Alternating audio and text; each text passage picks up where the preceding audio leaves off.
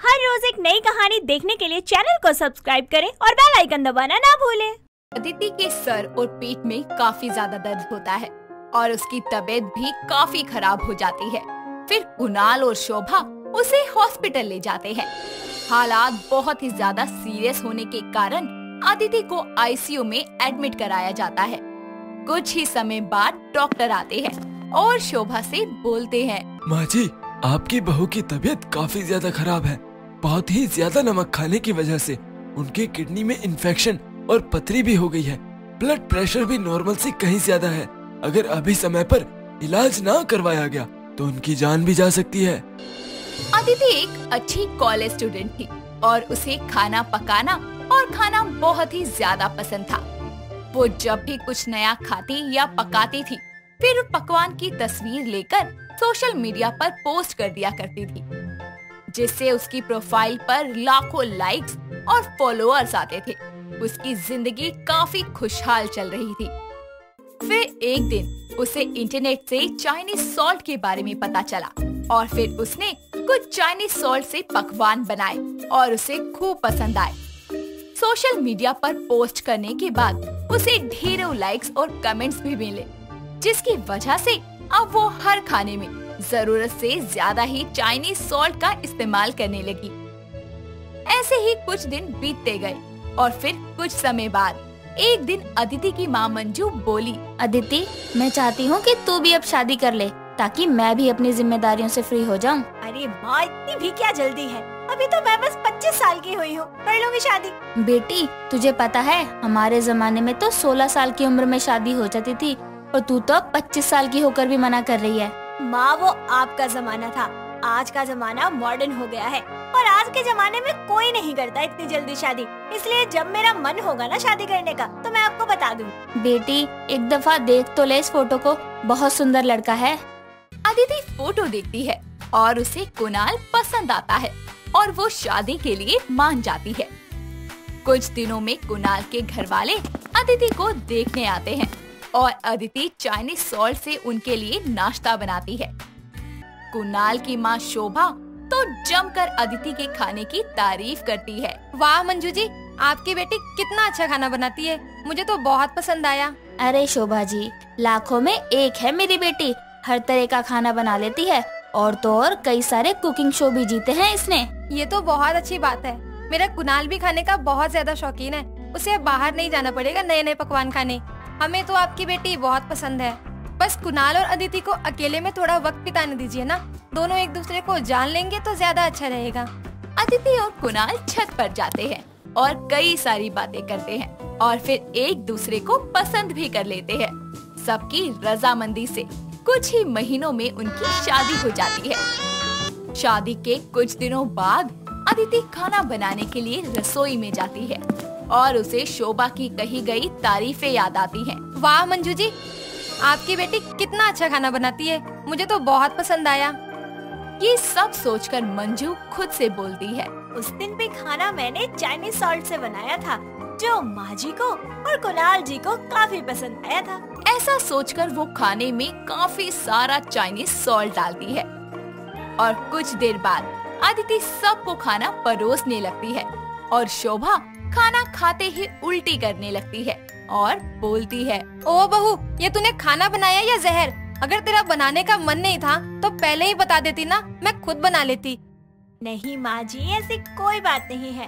वो बस मैंने स्वाद के लिए कुछ ज़्यादा ही चाइनीज़ सॉल्ट डाल दिया था इससे ज़्यादा कुछ भी नहीं। बेटा एक बार तो खुद ही चक्कर बहू को बता दे खाना कैसा बना है। माँ की बात सुनकर वो खाना मुँह में डालता है और वो भी उल्टी कर देता है। फिर वो अदिति से बोलता है। अरे अदिति इसमें सच में काफ़ी ज़्यादा नमक है। खाने लायक तो बिल्कुल भी नहीं है। यकीन नहीं होता तो खुद एक बार चख लो। ये सुनकर अदिति कुणाल की प्लेट में से एक चम्मच खाना चख कर देखती है और बोलती है इतना टेस्टी तो है खाना। आप मेरे खाने की ऐसे बेइज्जती नहीं कर सकते। आप लोगों को नहीं खाना तो मत खाइए। कोई बात नहीं मैं अकेले ही खा लूँगी। आप अपने लिए कुछ और बना लीजिए मैं तो यही खाऊं। ऐसा कहकर अदिति अपना बनाया हुआ खाना अकेले ही खाने लगती है और शोभा अपना सर पटक लेती है।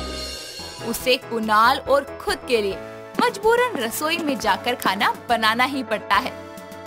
कई दिन बीत जाते हैं, मगर अदिति अपनी हरकतों से बाज नहीं आती और रोज रोज ज़्यादा नमक वाला खाना बनाती है, जिसकी वजह से रोज रोज कई सारा खाना बर्बाद होता है।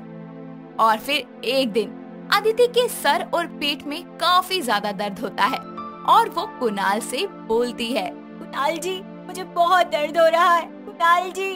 कुणाल जल्दी से भागा भागा अदिति के पास आता है और उसके सर और हाथ को छू कर देख के बोलता है। क्या हुआ अदिति तुम्हें? तुम इतना क्यों चिल्ला रही हो? सब ठीक तो है ना? कुछ भी ठीक नहीं है कुणाल जी। मेरे सिर और पेट में बहुत ज़्यादा दर्द हो रहा है और मुझे चक्कर भी आ रहे हैं। कुछ नहीं होगा तुम्हें तुम आराम करो मैं मम्मी को बुलाता हूँ। ऐसा कहकर कुणाल फटाफट शोभा को बुलाता है और शोभा आकर कुणाल को फैमिली डॉक्टर को बुलाने की कहती है। कुणाल कई बार डॉक्टर गुप्ता को कॉल करता है मगर कॉल नहीं लगता। जब तक शोभा अपनी बहू के लिए जूस लेकर आती है और अदिति से बोलती है। बहू तू जब तक जूस पीकर आराम कर तब तक मैं किसी डॉक्टर को बुलाती हूँ। ऐसा कहकर शोभा अपने आसपास भटकती है मगर उसे कोई डॉक्टर नहीं मिलता। और इधर दूसरी तरफ़ अदिति की तबीयत काफ़ी खराब हो जाती है। फिर कुणाल और शोभा एंबुलेंस में उसे हॉस्पिटल ले जाते हैं। हालत बहुत ही ज़्यादा सीरियस होने के कारण अदिति को आईसीयू में एडमिट कराया जाता है। कुछ ही समय बाद डॉक्टर आते हैं और शोभा से बोलते हैं। माँ जी आपकी बहू की तबीयत काफ़ी ज़्यादा खराब है। बहुत ही ज़्यादा नमक खाने की वजह से उनके किडनी में इन्फेक्शन और पथरी भी हो गई है। ब्लड प्रेशर भी नॉर्मल से कहीं ज़्यादा है। अगर अभी समय पर इलाज ना करवाया गया तो उनकी जान भी जा सकती है। तभी कुणाल डॉक्टर से बोलता है। डॉक्टर साहब आप कैसे भी करके मेरी बीवी को बचा लीजिए। और छह महीने बाद वो मेरे बच्चे की माँ बनने वाली है। आप कैसे भी करके बचा लीजिए प्लीज़ इसी के साथ कुणाल का साथ देते हुए शोभा बोलती है। देखिए डॉक्टर साहब अब उसकी ज़िंदगी आपके ही हाथों में है। आपको उसे बचाना ही होगा। ठीक है माँ जी। आप काउंटर पर पैसे जमा करवा दीजिए। मैं पेशेंट को बचाने की पूरी कोशिश करूँगा। डॉक्टर की काफ़ी कोशिशों के बाद अदिति बच जाती है। डॉक्टर आईसीयू से निकलकर शोभा को कहते हैं। देखिए माँ जी आपकी बहू अब खतरे से पूरी तरह बाहर है। उनको आराम की सख्त ज़रूरत है। आपको उनका खास ख्याल रखना होगा। तभी वो रिकवर हो पाएँगी। शुक्रिया डॉक्टर साहब। ऊपर वाले का लाख लाख शुक्र है कि आपने उसे बचा लिया। देखिए खेल खेलने वाला तो वही है। बस हम तो सिर्फ़ उसके हाथों की कठपुतलियाँ हैं। सब उसी की मर्ज़ी है। इस तरह अदिति को सीख मिलती है। कि किसी भी चीज़ का ज़्यादा उपयोग किस तरह हानिकारक हो सकता है। और वो अपनी आदतों में सुधार करती है। और अब वो बाकी लोगों को अपना उदाहरण देकर समझाती है कि चाइनीज़ सॉल्ट का ज़्यादा इस्तेमाल कितना खतरनाक हो सकता है। स्वाति एक बहुत ही सुंदर और समझदार लड़की होती है। उसके बाल बहुत ही काले और लंबे होते हैं। वो शहर में अपनी माता रजनी और पिता राजेश के साथ रहती थी। वैसे तो स्वाति हर काम में बहुत माहिर थी और सारा काम अच्छे से कर लेती थी। पर जैसे ही लोग उससे बात करने के लिए उसके पास जाते हैं तो उसकी गंदी और बदबूदार पसीने की बदबू से उससे दूर भाग जाते। स्वाति कितना भी नहा ले और उसकी बॉडी से गंदी पसीने की बदबू जाती ही नहीं थी। ऐसे ही एक दिन माँ माँ कोई मुझसे बात नहीं करता। जो भी मेरे पास आता है वो मेरे पसीने की बदबू सूंघकर दूर चला जाता है। मैं क्या करूँ माँ? अरे कोई बात नहीं स्वाति बेटा। तुम साबुन से नहा लो ना। उससे भी कुछ फ़र्क नहीं पड़ता माँ। एक बार लगाया दो बार लगाया कितनी बार लगाओ ये बदबू है कि जाती ही नहीं। अरे कोई नहीं छोड़ इसे। ये कोई बीमारी थोड़ी है, ये तो किसी के साथ भी हो जाता है। तू चिंता मत कर, बाज़ार जाकर कोई बढ़िया सा साबुन ले आ खुशबू वाला। स्वाति बाज़ार जाती है और बढ़िया खुशबू वाला साबुन ले आती है। तभी रास्ते में सूरज नाम का एक लड़का स्वाति को देखता है और वो स्वाति को देखकर उसकी तरफ़ आकर्षित हो जाता है और सूरज धीरे धीरे उसका पीछा करने लगता है। तभी स्वाति पीछे मुड़कर उसे देख लेती है और उससे कहती है क्या है? क्यों कर रहे हो मेरा पीछा? एक थप्पड़ लगा दूँगी कान पर अभी। वो वो मैं मैं आपसे बात करना चाहता हूँ। क्यों? तुम्हें मुझसे क्या बात करनी है भला? मुझे आप अच्छी लगती हो। पर बाकी सबकी तरह तुम भी भाग जाओगे। नहीं मैं नहीं भागूँगा। सच में? हाँ। अच्छा ठीक है। तो मैं चलती हूँ। सुनो क्या मैं तुम्हारा नाम जान सकता हूँ? मेरा नाम स्वाति है और तुम्हारा? My self Suraj. वाओ सूरज कितना प्यारा नाम है तुम्हारा। स्वाति रुको।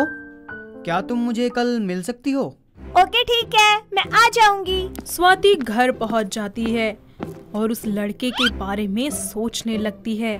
अगले दिन वो उससे मिलती है। दोनों एक दूसरे को जानने की कोशिश करते हैं। और समय बीतता जाता है। दोनों में दोस्ती हो जाती है और उनकी दोस्ती प्यार में बदल जाती है। स्वाति और सूरज दोनों अपने अपने माता पिता को इस बात के बारे में बता देते हैं। सूरज की माता अरुणा और पिता दीपक स्वाति के घर अपने बेटे सूरज का रिश्ता लेकर आते हैं। जी नमस्ते। मैं आपकी बेटी के लिए अपने बेटे का रिश्ता लेकर आया हूँ। हाँ दीपक जी हम जानते हैं। रजनी जरा स्वाति को बाहर लाओ। जी अभी बुलाती हूँ। स्वाति खुशबू वाले साबुन से नहाकर सुंदर से तैयार होकर सूरज के माता पिता से मिलने आती है और हाथों में चाय नाश्ता ले जाती है। उस समय तो किसी को भी उसके पसीने की बदबू के बारे में पता नहीं चलता पर समय बीतता जाता है। और उन दोनों की शादी हो जाती है। अरुणा स्वाति की मुँह दिखाई के लिए अपनी सहेलियों को घर बुलाती है। स्वाति रसोई में जब खाना बना रही होती है तो अरुणा उसे ज़ोर ज़ोर से चिल्लाकर अपने पास बुलाती है। बहू! अरे बहू! यहाँ जल्दी! तुझे कुछ बताना है? जी माँ जी कहिए। आय हाय ये बदबू कहाँ से आ रही है? ओफो, ये तो तुझ में से आ रही है पसीने की। जा, अच्छे से नहा कर।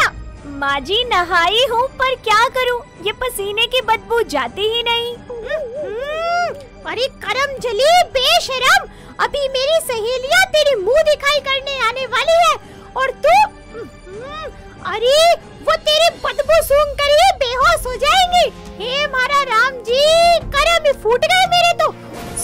दोबारा से नहाती है और क्रीम पाउडर लगाकर तैयार हो जाती है, जिससे उसके पसीने की बदबू थोड़ी कम हो जाती है।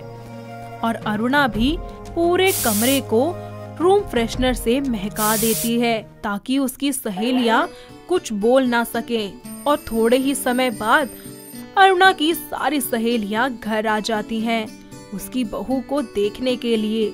स्वाति सभी को नमस्ते करती है और उनको चाय सर्व करती है। तभी हाय हाय ये इतनी गंदी बदबू कहाँ से आ रही है? अरे या सड़ांद तो आड़े किते तावे से हाय राम अरुणा ये गटर की बदबू तेरी बहू में से आ रही है? छी इसने तो सारा का सारा मूड ही खराब कर दिया। कैसी बहू लाई है तू? हाँ जीजी तू सही कह रही से? कितनी गंदी बदबू आन लाग रही से छोरी में ते। रे अरुणा, तने पूरी दुनिया में यह छोरी मिली तेरे छोरे ताई, हैं? मेरे ते तो यार एक मिनट भी बर्दाश्त को नहीं होती। चलो चलो अड़े ते। अरे अरे ऐसी कोई बात नहीं है। तुम तुम रुको बैठो तो सही, थोड़ी देर बहू से तो मिल लो।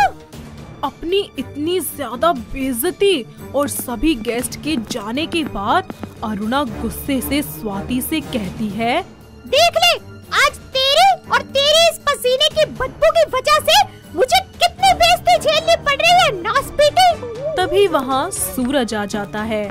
माँ आप क्यों इस बेचारी के पीछे पड़ी हो? इसे सुना रही हो? यह तो किसी के साथ भी हो सकता है ना? कोई बड़ी बात नहीं है। मैं जानता हूँ सब इसके बारे में।